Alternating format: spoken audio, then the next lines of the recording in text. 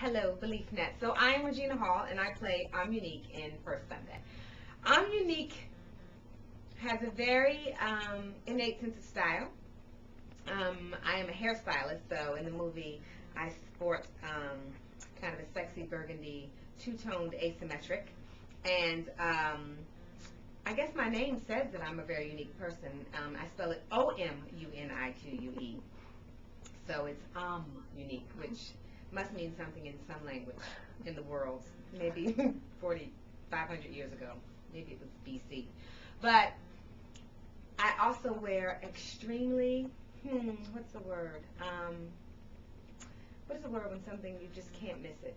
Uh, I don't want to say noticeable because that's that's that's too slight, but I will say I wear some bodacious jewels on my ears. I have I wear I wore these great earrings. I had an idea that Omunique would wear very bold jewelry that would accent her bold personality.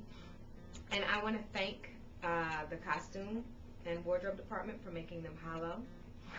If they had not, I probably would not have lobes today because I have them in squares and hearts and um, circles. And actually, I have a pair on in the movie. I don't know if you'll notice it, but you can look where it says Omunique in the middle because I would want you to know a name that's special.